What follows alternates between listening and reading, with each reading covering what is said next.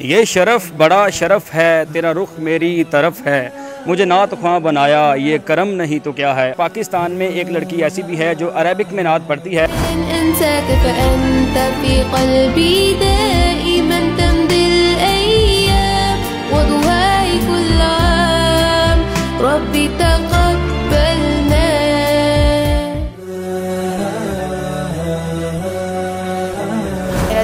हम something different करें और मैंने हिफ्स किया वैसे मुझे अरबिक आसान भी लगती है। थ्री इयर्स की थी तो तब से जो है मैंने ये शुरू किया हुआ है। स्कूल्स में पढ़ना वहाँ पर कंपटीशन होने वहाँ से मेडल्स ले आने देन कॉलेजेस वगैरह में पढ़ना मैंने। वन वीक लगा था हमें इस सब की प्रिपरेशन करने में क्योंकि ज़्यादा मुश्किल नहीं हुई लेकिन ये था कि जेर ज़बर ऊपर नीचे ना हो जाए क्योंकि अरबिक में एक भी जेर ज़बर ऊपर नीचे हो जाए तो उसका मीनिंग चेंज हो जाए। हिफ्स के स्टार्ट पे एक तलफ़ुज़ ही बताया जाता है जिसको कहते हैं कि कायदा। तो अगर आप फिक्स करते तो आपके लिए बहुत आसान हो जाता। है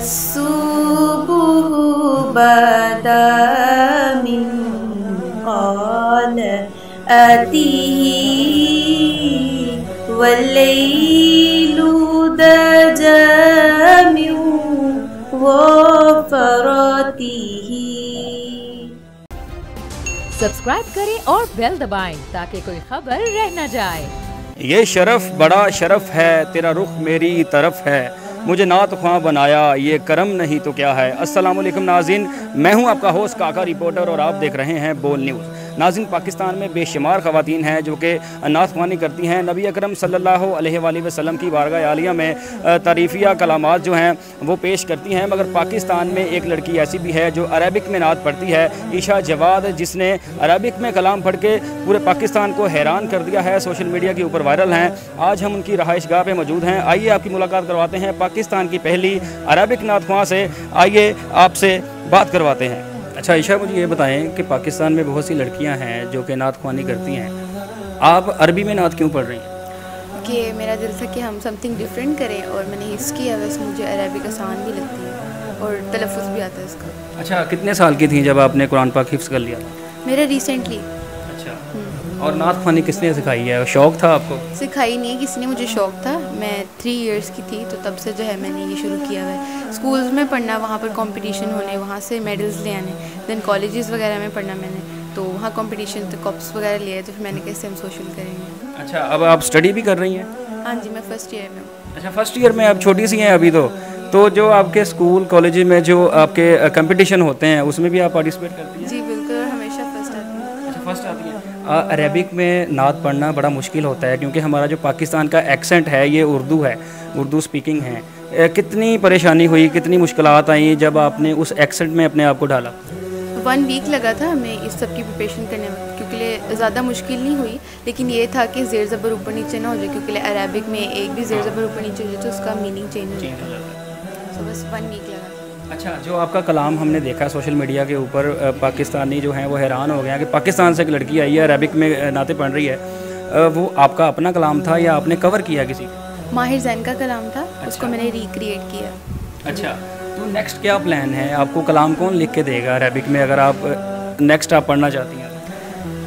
शायद खुद लिखे हम लोग। ये शायद रिक्रिएट करें लेकिन जो हमारा नेक्स्ट प्रोजेक्ट आ रहा है वो थोड़ा सराइकी और पंजाबी से रिलेटेड है। सो इंशाल्लाह वो भी रमज़ान में पोस्ट हो जाएगा। अच्छा हमने आम जो नात ख्वां होते हैं हमने देखे हैं वो रियाज करते हैं अपना ना गला साफ़ करने के लिए रिहर्सल करते हैं। अरबिक की जो रिहर्सल होती है इसके लिए क्या तरीकाकार होता है? इसके लिए बस आपको जो है ना वर्ड सही से प्रोनाउंस करने आने चाहिए बाकी गले वगैरह का तो कोई इशू नहीं है। अच्छा इसमें किरात आती है बस? हाँ बस।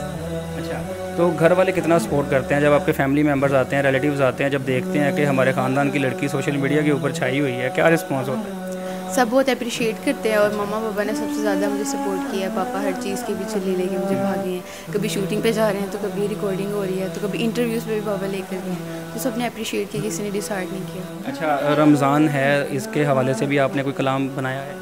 ये रमदान ये रमज़ान के हवाले से ही था। इसमें इसका पूरा मीनिंग ये था कि आपको जो है इफ्तारी गरीबों में बांटनी चाहिए जो कि नहीं अफोर्ड कर सकते।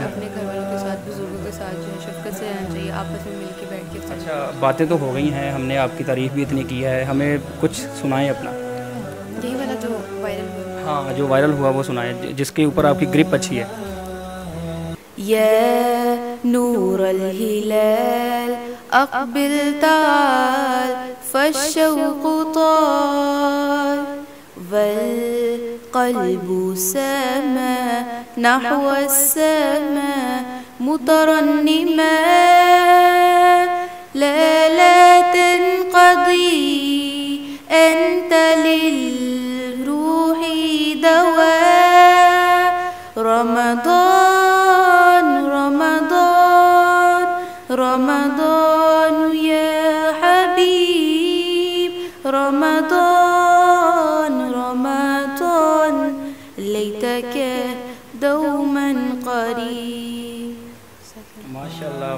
माशाल्लाह आपने तो बड़ा आसानी के साथ हमें सुना दिया है। अभी ईशा जो है फ़र्स्ट ईयर में है।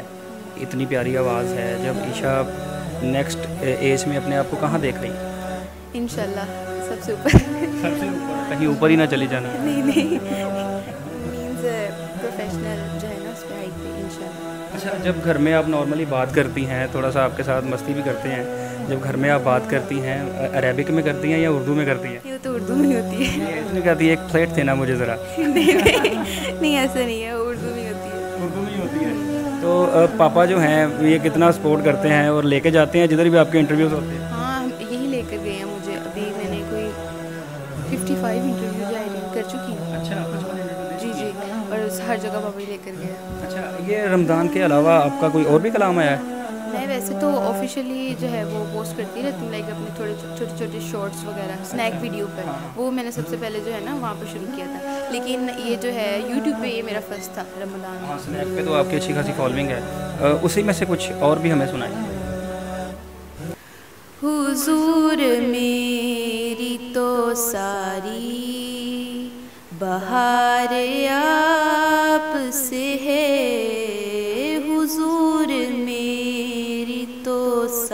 सारी बहार आप से है।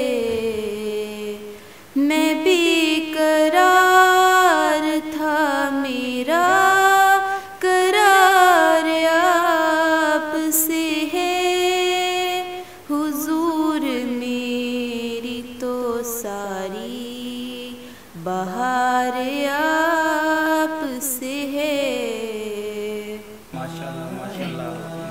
अच्छे आप सोशल मीडिया के ऊपर एक्टिव हैं आपकी फॉलोइंग भी है।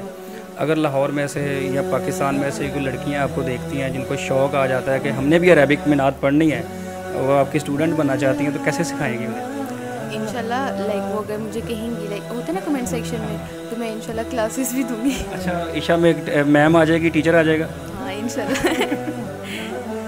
अच्छा अ, मुझे अ, ये बताइए लास्ट पे कि अरेबिक में अगर आपने नात खानी करनी है, उसके लिए हिफ्स किया हुआ ज़रूरी है या नहीं?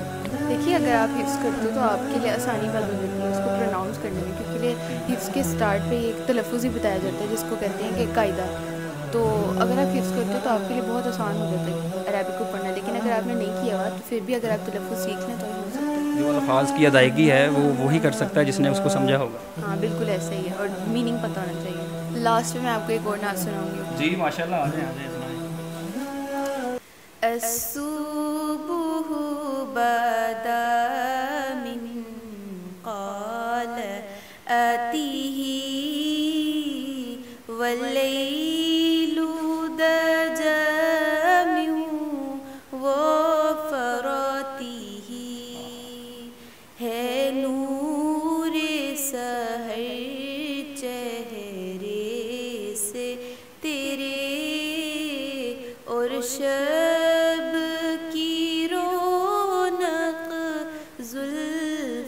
से है।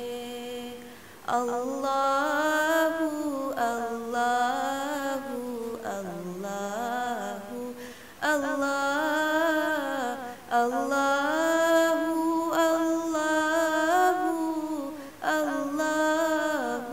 अल्लाहु जी नाजिन ये थी ईशा जवाद। जिनकी आवाज़ ने पूरे पाकिस्तान को एक शहर में मुबतला कर रखा है। इतनी प्यारी आवाज़ है और पाकिस्तान की पहली लड़की है जो कि अरबिक में नाद पढ़ती हैं।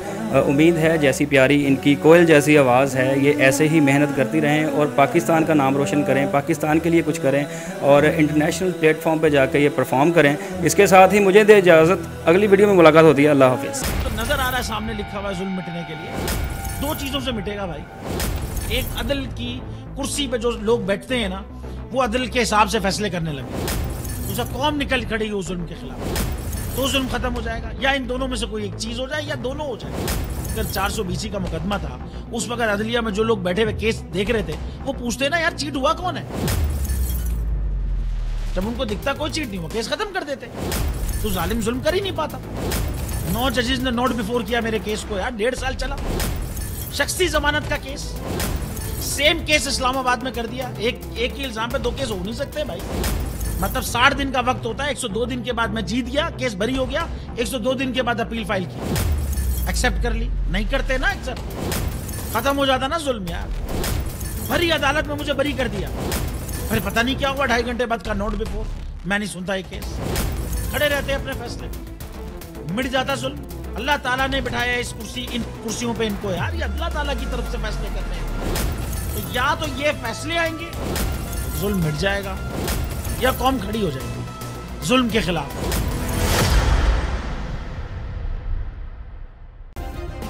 सब्सक्राइब करें और बेल दबाएँ ताकि कोई खबर रह न जाए।